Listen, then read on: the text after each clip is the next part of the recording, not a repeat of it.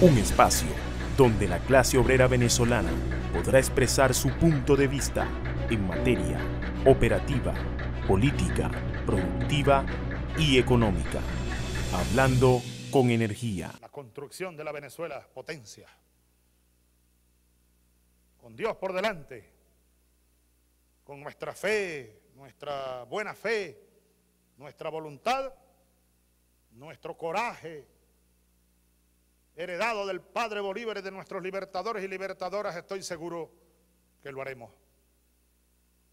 Y le dejaremos a nuestros hijos grande, libre y luminosa la gran patria bolivariana, para que ellos sigan la marcha rumbo a los horizontes por venir.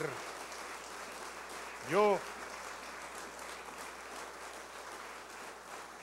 María Cristina, trabajadores, trabajadoras, Elías, ministras, ministros, líderes obreros, compañeros y compañeras, muy feliz estoy de poder pararme aquí hoy a cumplir una vez más mi palabra empeñada.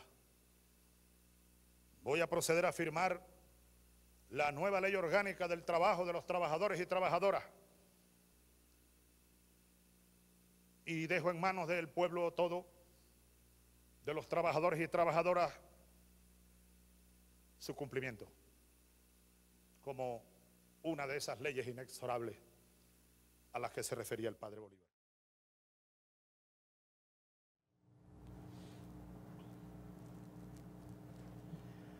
Acabamos de ver un video preparado por nuestro equipo de producción en relación a una propuesta del presidente Hugo Chávez a la nación. En este sentido, este video forma parte de la editorial del programa de hoy, Hablando con Energía. El presidente Chávez, que fue confrontado por la oposición venezolana, la oposición de, que hacía vida en el Congreso Nacional, enfrentar una propuesta de adecuar las leyes venezolanas en función de la nueva realidad que entraba a vivir. A partir de que el presidente Chávez, ganando la presidencia en el 98, constituía una referencia histórica de cambio significativo para lo que significaba la llegada al final de la el pacto de punto fijo. Es importante recordar que en ese periodo o en Venezuela se visualizó que para marzo del año 1974 específicamente, el Congreso Nacional le había otorgado eh, condiciones especiales al presidente del entonces, Carlos Andrés Pérez, para que dictara medidas especiales en materia financiera que le llevó a, otorgar, a ejecutar más de 3.000 eh, documentos, decretos en, en esa materia. Y que una vez que el presidente ahora, producto de un cambio planteado en el país, de una iniciativa de la revolución o del pueblo avanzando para una esperanza que con esas leyes no podía ser posible. El presidente Hugo Chávez en ese momento le pide al Congreso Nacional que le dé condiciones para modificar el estamento jurídico venezolano en unas materias específicas, para atender la, emergencia en el país con el tema de las lluvias, para atender en materia energética lo que tiene que ver con el movimiento de los hidrocarburos que habían venido siendo entregados, eh, esa soberanía entregada al imperio norteamericano y a todas las transnacionales. Se desangraba la república y el presidente plantea avanzar por un método distinto, por una ley que permitiera tomar medidas excepcionales y tomar medidas ya. Fue atacado y por esa vía fue derrocado el gobierno en poco tiempo, pero fue derrocado por haber puesto en la mesa unas leyes fundamentales. En este caso, la ley de los hidrocarburos y la ley de tierra.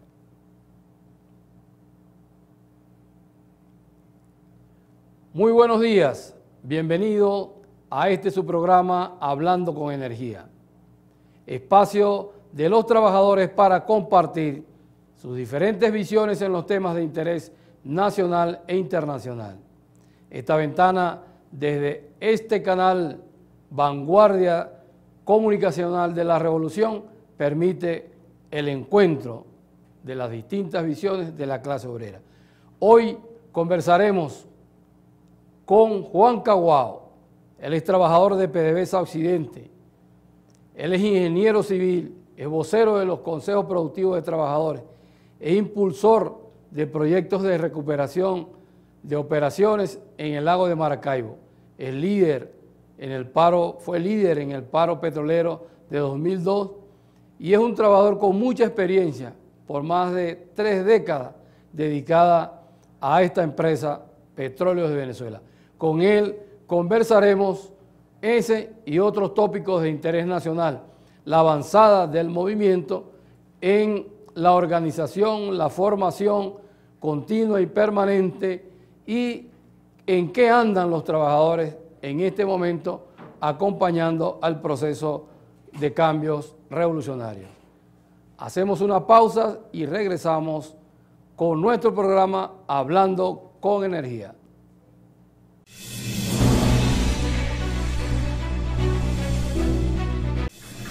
Un espacio donde la clase obrera venezolana podrá expresar su punto de vista en materia operativa, política, productiva y económica. Hablando con energía. Bueno, aquí estamos con este su programa Hablando con Energía, que transmitimos por TV Fan, la vanguardia de la comunicación de la revolución. Hoy tenemos como invitado, como lo prometimos, Juan Caguao, trabajador de PDVSA Occidente, Estado Zulia. Es ingeniero civil, es vocero, es un líder vocero de los consejos productivos de trabajadores, es impulsor de los proyectos de recuperación del lago de Maracaibo. Es líder de la recuperación de PDVSA de manera activa en el 2002. Y bueno, tiene más de tres generaciones al servicio de la patria en esa empresa, en ese estado. Bienvenido Juan Caguao, hermano de lucha, combatiente de, muchos años. Bienvenido a este su programa Hablando con Energía. Bueno, mi hermano de clase, Marcos Padovani, tantos años, aquí estamos pues en este programa visto por todo el pueblo venezolano, se ha convertido en un programa de vanguardia y que es un espacio pues para el pueblo dar el debate de las ideas y nosotros, la clase obrera, estamos presentes pues en este país, en esta nación, para debatir y profundizar eh, la revolución. Fíjate, este, nuestro editorial enfoca al presidente desde la perspectiva de las leyes habilitantes. ¿Cuál es tu opinión que has transcurrido todo este proceso de asedio contra la industria, de la organización, el plan de recuperación de la industria, el golpe de timón, eh, variables dentro de la industria en el marco de su conducción.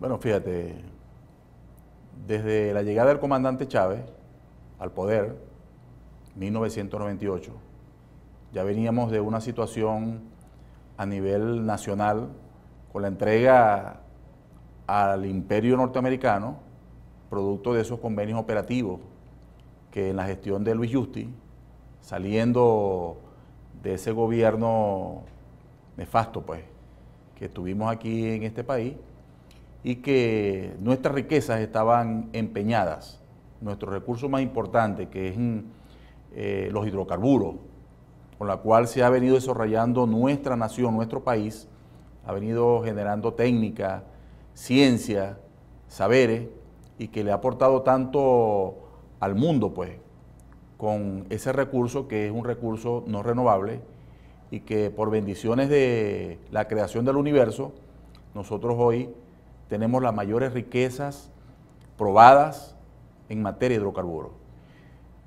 En el, 98, el presidente llega al poder con una, una discusión en PDVSA que trastocaba los intereses del pueblo y que le entregaba prácticamente a las transnacionales este, nuestros recursos a una, situación prácticamente regalado donde al pueblo venezolano no le quedaba esa riqueza, pues no se veía, no se sentía.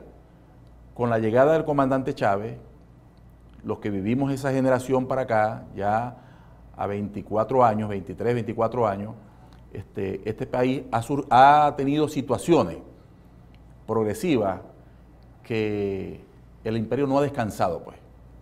No ha descansado. En el 2001 fuimos objeto de unas situaciones de protesta en la nación, desde adentro de PDVSA, alentadas por el gobierno norteamericano y por la, la, embajada norteamericana acá en Venezuela. Todos sabemos que en el 2001 se dio unas leyes habilitantes del presidente Chávez y que trastocaba pues esos intereses imperiales y que no aceptaba que el gobierno tomara control de estos recursos que son los recursos del pueblo y que el presidente Chávez en su propuesta al pueblo venezolano se la compró el pueblo y tenía que cumplirle al pueblo. Entonces, transformó a través de una ley habilitante este, la ley de tierra y sobre todo una ley muy importante como la ley de hidrocarburos. Eso fue el detonante para que el, imperio este, hiciera todo lo que nosotros conocemos hoy, que ha venido haciendo sistemática y que nos lleva a esta, a esta época. Después del 2001, sabemos que pasó el 2002, calentando las áreas, calentando las áreas, calentando el pueblo, ¿verdad? los partidos políticos aliados con el imperio, llegamos al golpe de Estado. El golpe de Estado, donde jugó un papel muy importante, ¿verdad? esa dirección que manejaba PDVSA, que estaba a espalda del país, que no reconocía al gobierno, que no reconocía un presidente y que simplemente paralizó PDVSA por unos días, porque fue el epicentro. La marcha, todos recordamos la marcha de Chuao, ¿verdad? Que agarró toda esa vía y que culminó en la Varal para llegar a Miraflores y todos sabemos el desenlace, pues. Ahí el pueblo en el Puente Yaguno como una expresión genuina de defensa de, la patria, de, del Estado-Nación, porque lo que estaba planteado era derrocar al presidente, porque simplemente estaba recuperando la soberanía a través de la ley de hidrocarburos y que el gobierno norteamericano no, perdonaba eso, pues. Que un indio, ¿verdad? ¿verdad? Un indio, un negro, a llegar al poder porque simplemente no lo reconocía. Entonces, el pueblo, nosotros los trabajadores, dimos esa batalla. Pasamos al mismo año, 2002 en diciembre, se concreta ¿verdad? Toda una arremetida desde la meritocracia de PDVSA que obedecía a los intereses internacionales al imperio norteamericano y se plantean una paralización total de PDVSA. Ahí nosotros, como trabajadores en ese momento, insurgimos y tuvimos la valentía de organizar toda esa fuerza para recuperar el patrimonio que es PDVSA, porque quebrar PDVSA era quebrar, ya venían con una intención más firme. ¿eh? Toda la CTV, todos los empresarios, Fede Cámara, los partidos políticos conspiraron. Pero ahí tuvimos nosotros, el pueblo y la clase obrera, de frente, defendiendo el recurso más importante que seguimos teniendo y lo vamos a seguir defendiendo. Fíjate, te voy a traer este, rápidamente a, de Chávez a Maduro. En el mismo proceso de la industria, porque voy a aprovechar que tú tienes más de 30 décadas, más de 30, casi 35 años dentro de la industria, la vez antes y después. Entraste como un niño a la industria y pudiste vivir ese proceso de Chávez a Maduro. Cuando Chávez fueron a la calle, la pararon. Los trabajadores la recuperaron. Cuando Maduro no salieron a la calle, pero la pararon. El sistema refinador. ¿Cómo detectan los trabajadores esa paralización y cómo se ponen al frente para decirle al presidente que van a recuperar el sistema refinador para el pueblo. Pero fíjate, el sabotaje petrolero, el golpe de Estado, los trabajadores patriotas, con una convicción de país, con una convicción de pueblo, no podíamos permitir que el principal recurso que garantizaba a través de la revolución el desarrollo progresivo y sustentable de esta nación fuera arrebatado por un golpe de Estado, por un sabotaje petrolero. Pero resistimos. Tuvimos control de PDVSA y Chávez pudo seguir adelantando ese proceso de transformación que llegó hasta el 2013. Se va el comandante Chávez. Llega Maduro al poder a través de unas elecciones, que todos sabemos que la situación país estaba conspirando, había conspiraciones, inclusive a lo interno, de factores que estaban cubiertos, vestidos de rojo, pero que obedecían intereses y seguían la línea del gobierno imperial de los Estados Unidos. Y después se desató la llamada Guarimba. Se desató, se desató la llamada Guarimba. Bueno, el pueblo salió a defender ¿verdad? la institucionalidad de este país, reconociendo inclusive ¿verdad? el llamado que hacía el presidente que había, se llamaba ganador, que era Enrique Capriles, llamando al pueblo a que desatara con ira a su propio pueblo. Bueno, el pueblo salió, el pueblo patriota, revolucionario, así como salimos al rescate del comandante Chávez el 11, 12 y 13 de abril del 2002, así como asumimos nuestra responsabilidad como trabajadores dentro de la corporación PDVSA, así mismo salimos los trabajadores a garantizar ¿verdad? la estabilidad de PDVSA con sus trabajadores, resguardando la seguridad, pero al mismo tiempo en la calle combatiendo ¿verdad? con la presencia de la movilización el Estado-Nación.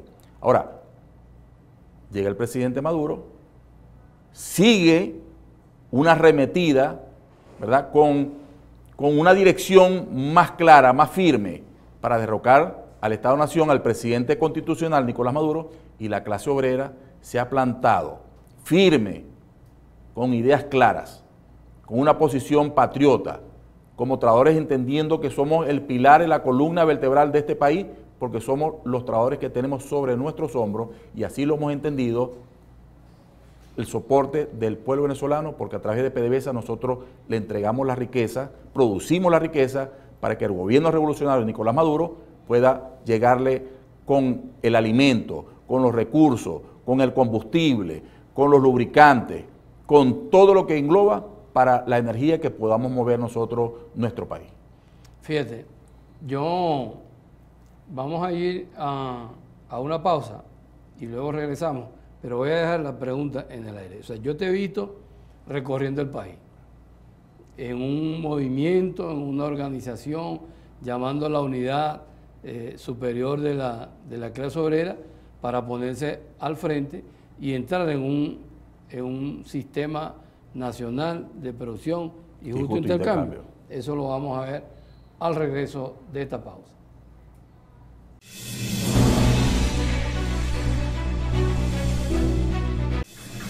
Un espacio donde la clase obrera venezolana podrá expresar su punto de vista en materia operativa, política, productiva y económica. Hablando con energía. 2007. Hemos instalado en Venezuela junto con esa bandera que flamea al viento la plena soberanía petrolera. Realmente hay que decirlo la verdadera nacionalización petrolera es ahora, no ocurrió en el pasado. Todo en beneficio de la patria, es la propiedad patria. La otra es la propiedad burguesa, la propiedad del imperio. Nosotros éramos una colonia norteamericana, entregaron la faja del Orinoco, la reserva de petróleo más grande de este planeta. Chávez manda a certificar las reservas en la faja del Orinoco y es así que se cataloga lo que allí siempre hubo, petróleo y no bitumen. Decían que el petróleo de aquí, que no era petróleo, bueno, era equivalente al carbón y había que pagarlo a precio de carbón. El petróleo de Venezuela es para los venezolanos, para el desarrollo nacional, no es de los gringos, ni será más nunca de los gringos. 2009. Se nacionalizan los muelles de la costa oriental del lago de Maracaibo.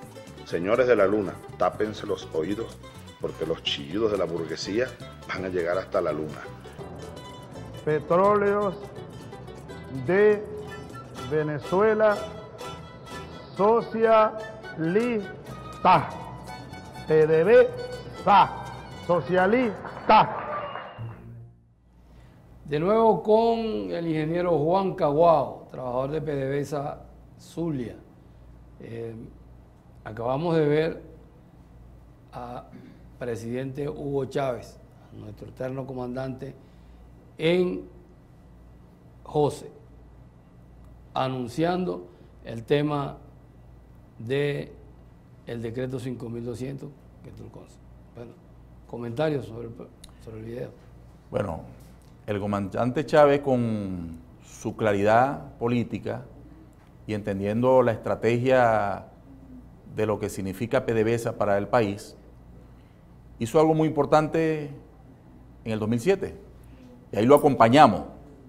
El primero de mayo de 2007, cuando puso en vigencia la reversión, ¿verdad? Revertir ese, esa entrega de lo que eran los recursos nuestros en, el, en la faja petrolífica del Orinoco, ahí estuvimos nosotros acompañando al presidente Chávez. Siempre lo acompañamos.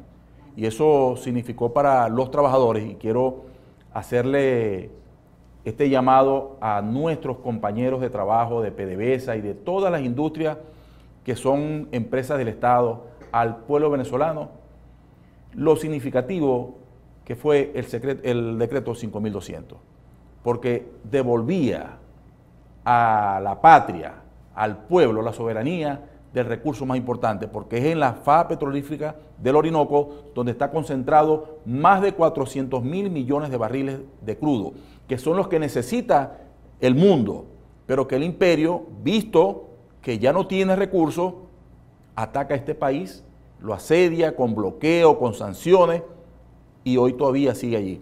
Bueno, tenemos que defender nuestros recursos, porque en lo inmediato estamos viviendo una situación compleja, pero nos la están induciendo, nos están llevando a un terreno de necesidad, pero tenemos que tener la firmeza como venezolanos, de resistir, de avanzar, de ir hacia un proceso de transformación que nos permita que todos esos recursos de verdad le lleguen al pueblo.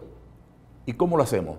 Si no es defendiendo no solamente a los trabajadores petroleros, todos los trabajadores venezolanos, estén donde estén, tienen que posar la mirada, el sentido de pertenencia hacia PDVSA, porque esa ama de casa, ese indígena, ese niño, ese abuelo, los recursos de PDVSA van en materia de salud, van en materia de educación, en materia de vivienda, en materia de vialidad, de servicios públicos que nos los han atacado, nos los, los quieren destruir para desmoralizar al pueblo y decir que este país ya no sirve, que PDVSA está quebrada.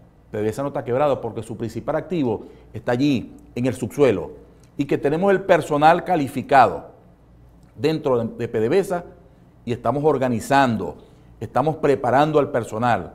Aún con la adversidad que tenemos, aún con dificultad del poder adquisitivo, pero gracias a la revolución, el presidente, días pasados, 3 de marzo, en el Congreso de la clase obrera, aprobó un incremento de salario mínimo para poder aliviar la carga que tenemos producto de las sanciones, producto de que nos han atacado por, por el alimento, por el combustible, ahí estamos dando la batalla. Fíjate, yo había dejado una pregunta en el aire, que era el, el tema del recorrido que anda haciendo tú a nivel nacional. O sea, por redes hemos podido ver que estás en, en, en Anzuate, que estás eh, acompañando a los compañeros, a los trabajadores del Palito, o estás en el CRP, o estás en, en Anzuate.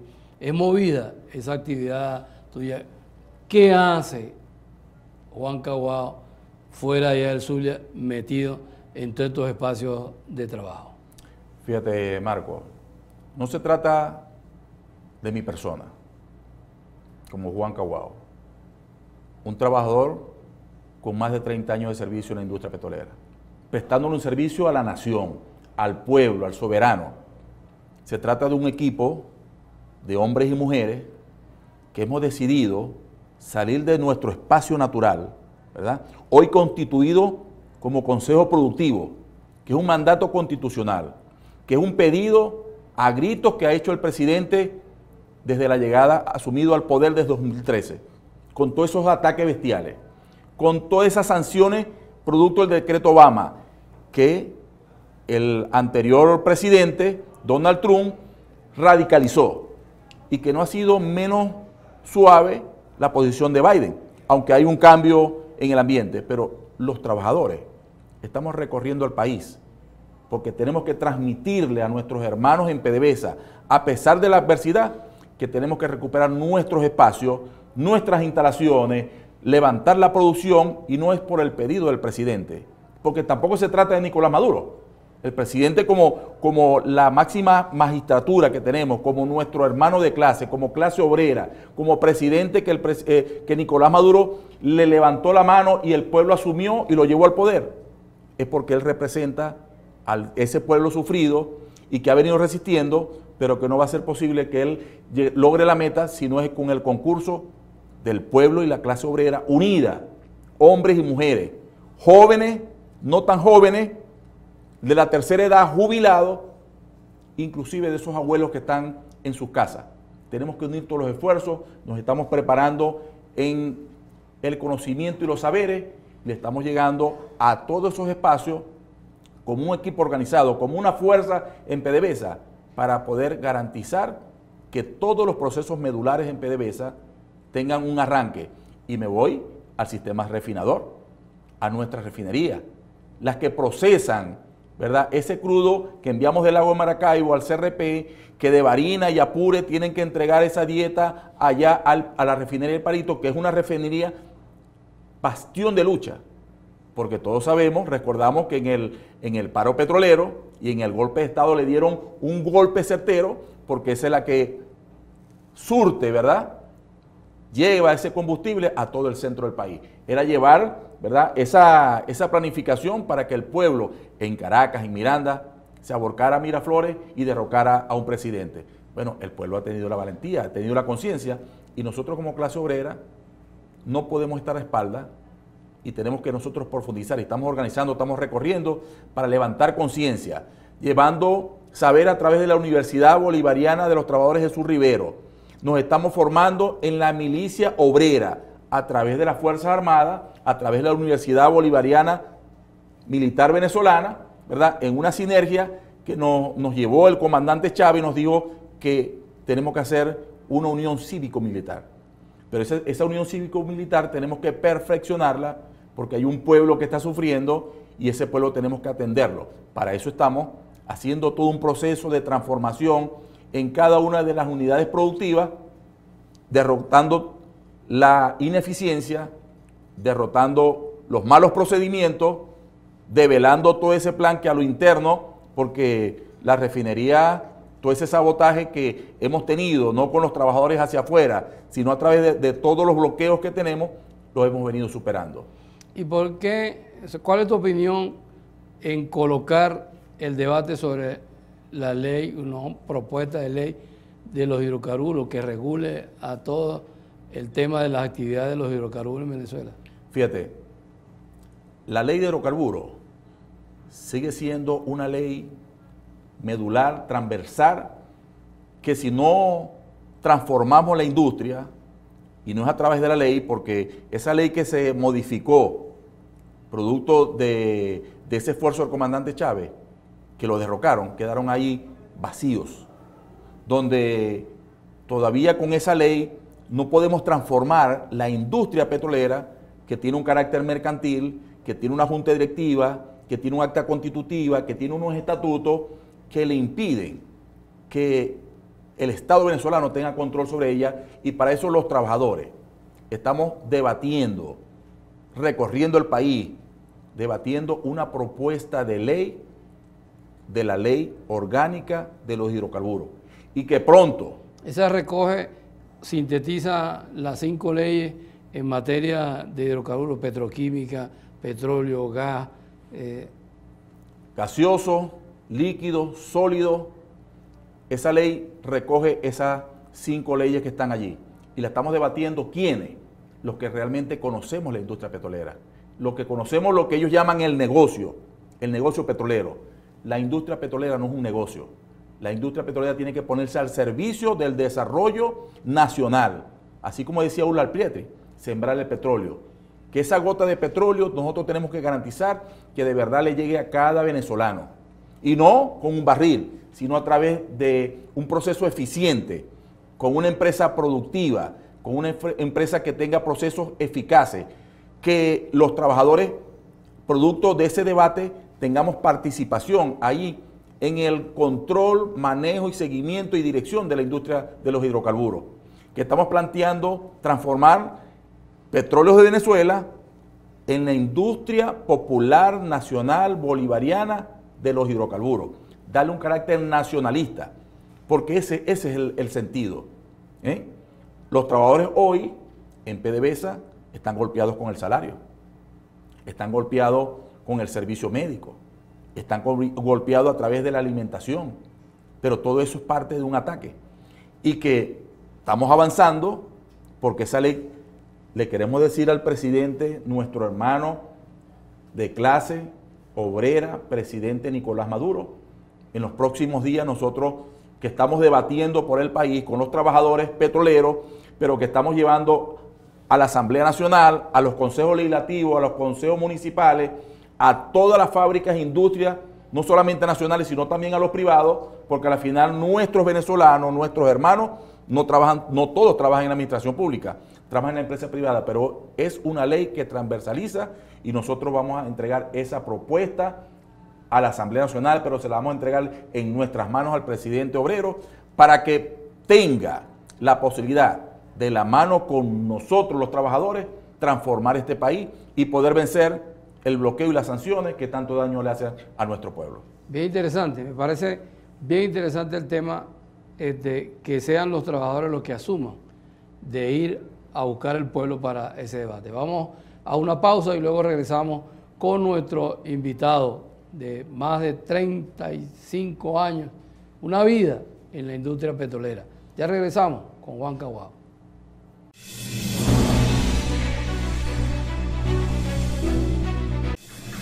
Un espacio donde la clase obrera venezolana podrá expresar su punto de vista en materia operativa, política, productiva y económica, hablando con energía.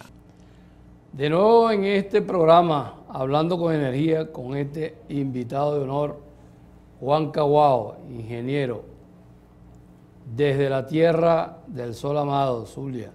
Juan, más de 30 años en la industria, en el antes y el después.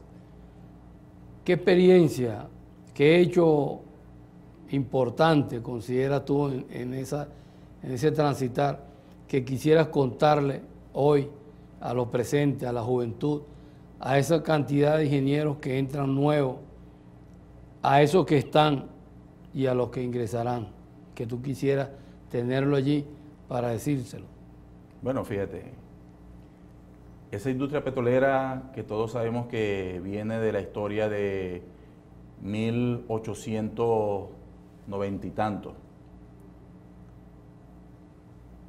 López Contreras. Y la historia más reciente, pues.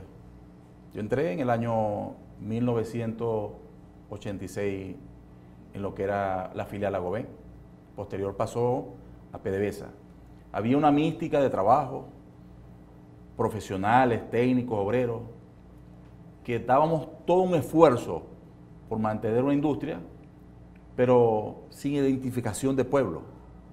Era una, una industria que estaba a espalda de una población porque las transnacionales tenían sus intereses. Trabajamos, pero realmente teníamos unos beneficios, era algo ficticio para solamente los trabajadores que tenemos ahí. Nos llamaban privilegiados aunque no lo éramos, porque trabajamos guardias de día, guardias de tarde, guardias de noche. Pasé por distintas experiencias en PDVSA. Nos formamos, porque entramos de obrero. Y ahí fuimos formando, pero siempre con una conciencia patriótica, como nos enseñó nuestros libertadores, como nos enseñó todos esos antepasados que han dado un debate importante por la liberación y la soberanía de lo que es el petróleo para el pueblo. Llega Hugo Chávez al poder, nos presenta un cambio constitucional, una constituyente, una reforma a la constitución y se plasman allí todos unos artículos que garantizan la prosperidad y el bienestar del pueblo venezolano, pero que además fortalecer a una industria. Se da el sabotaje petrolero, se da el golpe de Estado y sigue en proceso. Bueno, eso nos dio a nosotros el entendimiento para saber que esta principal industria no se la podemos entregar al imperio. Que pase lo que pase, con todos los asedios que los estamos viviendo, que lo estamos resistiendo, porque las futuras generaciones, a lo mejor yo no lo vea, pero yo me voy a sentir satisfecho de hacer lo que estamos haciendo para garantizar el futuro a nuestros hijos, a nuestros nietos y las futuras generaciones, porque aquí hay petróleo todavía para 200, 300 años, que todavía hay un recurso que va a quedar ahí. En el futuro se implementarán nuevas tecnologías y esperemos que en ese futuro nuestro país está desarrollado como potencia ¿verdad? mundial, porque es un país pequeño, pero que tiene un recurso incalculable. Entonces, el mensaje que yo le quiero dar a esa juventud, a esos profesionales, a esos trabajadores que hoy están allí, que vean hacia el futuro, que vean a sus hijos, que tenemos que defender PDVSA, que nos las quieren quebrar, nos quieren quebrar en lo emocional, en lo psicológico, pero también por el estómago. Que la industria petrolera no vale un plato de comida. La industria petrolera no vale un salario o alto o bajo. Que tenemos que defenderla. Y que tenemos que ponerla a producir por el bienestar de la patria. Fíjate, Caguao, es una experiencia que no, se puede desperdiciar. Tú estás en, la etapa de la formación, de la autoformación integral, colectiva y permanente en la Universidad Bolivariana de los Trabajadores de Sur Rivero. Está incorporado en el tema de la defensa integral de la patria. Está incorporado en los cuerpos combatientes. De esa perspectiva, ¿tú consideras que hay un avance del movimiento, que hay un avance de la clase, que hay un avance de las organizaciones? Claro que sí. Es un, es un proceso social que se va a ir desarrollando, que va a tener altos y bajos, pero con la claridad política, con ese mensaje, con esa formación, autoformación, nosotros vamos a ir generando esa conciencia, esos saberes que van a permitir avanzar. Como decía el comandante Chávez, tenemos que mantener la unidad, tenemos que mantener el estudio, porque siempre el imperio nos va a atacar. Y nos está atacando muy fuerte. Pero estoy convencido y yo le doy ese voto de confianza al pueblo que ha sabido darnos un mensaje a esos trabajadores, muchos que se han ido, pero muchos están regresando, porque nuestra patria se va a levantar de la ceniza, que creen que nos la destrozaron, pero se va a levantar como el ave fénix. Entonces, todo ese proceso de formación está sirviendo para generar conciencia en ese proceso social del trabajo, de esos debates que estamos dando, que tenemos que hacerle un llamado, inclusive a la Junta Directiva de PDVSA, a la dirección ejecutiva de los distintos, tanto en Occidente como en Oriente, que tienen que ponerse a la altura de un pueblo, a la altura de una exigencia de ese pueblo que está sufrido y que tenemos que ser eficientes, pero a través de los consejos productivos, a través de las organizaciones sindicales, a través de las organizaciones, los diversos sectores que funcionan en la vida cotidiana nacional y en PDVSA, como las mujeres organizadas, estamos dando ese debate para poder avanzar. Bueno, como siempre, el momento lamentable de que se agota el tiempo. Y quisiera aprovechar para que desde tu experiencia, desde el tiempo, de un hombre que entró desde niño, se hizo hombre, abuelo, este, pueda enviar un mensaje al presidente de la República, al pueblo venezolano y a la clase obrera en tres dimensiones bien corticas. Hermano presidente Nicolás Maduro, te habla un obrero, un trabajador de la principal industria venezolana, la industria de los hidrocarburos, un patriota. Te pedimos desde acá, en nombre de los trabajadores, que sigamos avanzando juntos, que no es fácil el camino, pero que tenemos la claridad política y social para enrumbar este país. Que si nos hermanamos, que le hacemos el llamado a todos esos trabajadores, a todo el pueblo, a que sigamos avanzando juntos en la construcción y consolidación, fortalecimiento del proceso revolucionario del proceso social del trabajo con nuestros hermanos trabajadores, con nuestros hermanos de pueblo, a ti campesino, a ti pescador, a ti obrero de fábrica, a ti hermano trabajador de PDVSA. Demos el todo por el todo, porque lo que hagamos por PDVSA lo estamos haciendo por el bien del pueblo venezolano, no solamente a nosotros.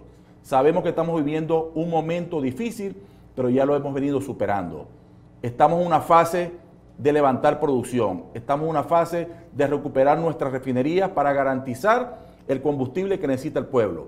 Necesitamos recuperar la producción para hacer los aportes que tengamos a bien hacer para el desarrollo sustentable de la nación, del fortalecimiento de la educación, de equipar nuestros hospitales, de que le llegue el servicio gratuito de educación y de salud al pueblo. Esa es la tarea que nos toca.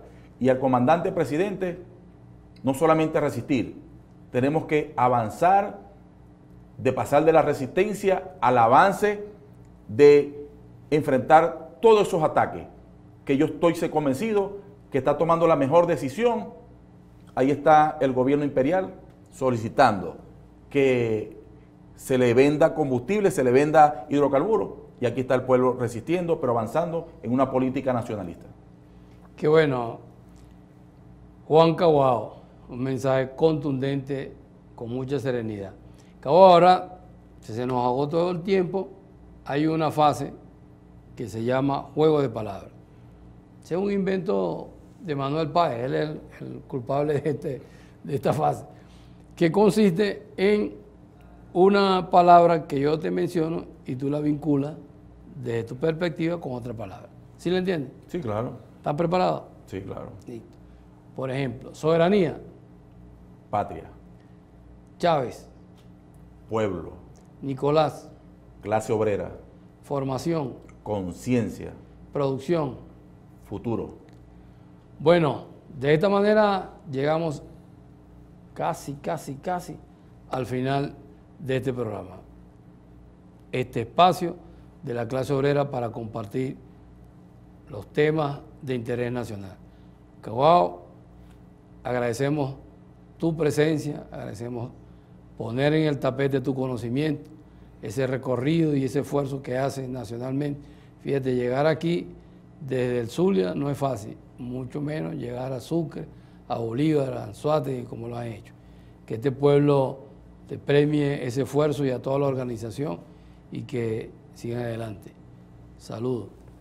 Hasta la victoria siempre. Bueno, y hacemos una pausa y luego regresamos a las conclusiones generadas de esta conversación con el ingeniero Juan Caguao.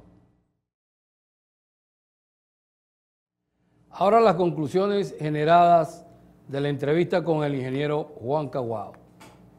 Una interesante entrevista que permitió visualizar algunos aspectos que tienen que ver con las leyes habilitantes en el marco de un proceso de estabilización eh, económica, avanzar hacia una nueva, una nueva visión de desarrollo del país donde el mecanismo de la producción de energía la producción de hidrocarburos era el elemento fundamental. Por eso se puede anotar en las conclusiones que las leyes habilitantes impulsadas por el presidente Chávez desde el 2001 fueron la excusa que tomó la derecha venezolana para enfrentar definitivamente al gobierno y la revolución venezolana por cuanto se tocaban directamente sus intereses y pasaba el pueblo junto al comandante Chávez a tener o a anunciar que había un control distinto sobre los hidrocarburos y las empresas y todas las actividades conexas en, el sector energético. También pudiéramos considerar en esa actividad que señalaba el ingeniero Juan Caguao, era lo relevante del decreto 5200 como un hecho que incorporaba a trabajadores eh, que habían sido durante mucho tiempo tercerizados y recuperaba, regresaba a control del Estado las eh, actividades y las empresas ubicadas en la faja petrolífera del Orinoco, por cuanto en la apertura petrolera se había hecho concesiones que dañaban el patrimonio nacional y era la entrega de la soberanía. Señalaba Caguao que el decreto 5200 logra posicionar a la clase obrera junto a la revolución por cuanto le dice que ese recurso energético, que esas empresas, que PDVSA y todo lo que está alrededor de ella significa poder, significa control, significa soberanía y que el, avance de ese decreto a solicitud del, pueblo y los trabajadores pone al presidente en eh, una avanzada del proceso revolucionario de manera positiva. Y que hasta el sol de hoy se menciona ese decreto como un elemento fundamental de la unidad de la clase obrera y la recuperación de la industria petrolera en los términos que posteriormente se plantean.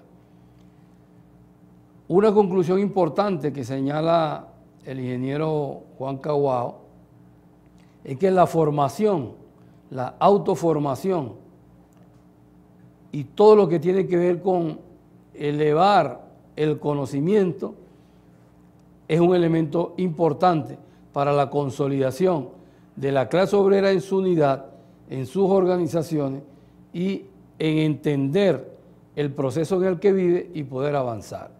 Cabao lo señala y lo pone porque él es un ejemplo vivo de lo que ocurrió en él y lo que ocurre en la empresa.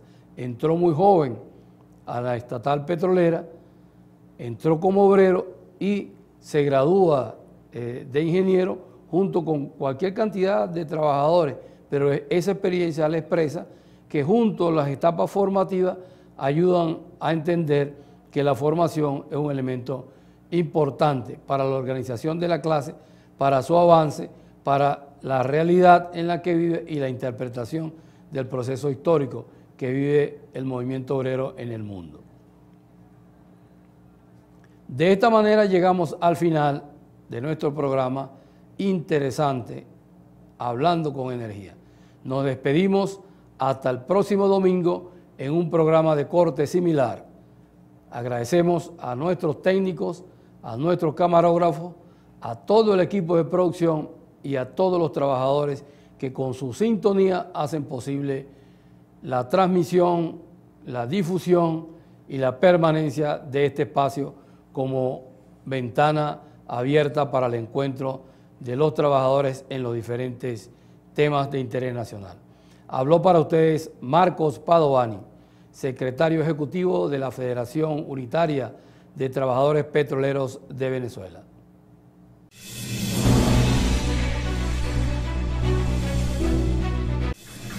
Un espacio donde la clase obrera venezolana podrá expresar su punto de vista en materia operativa, política, productiva y económica. Hablando con energía.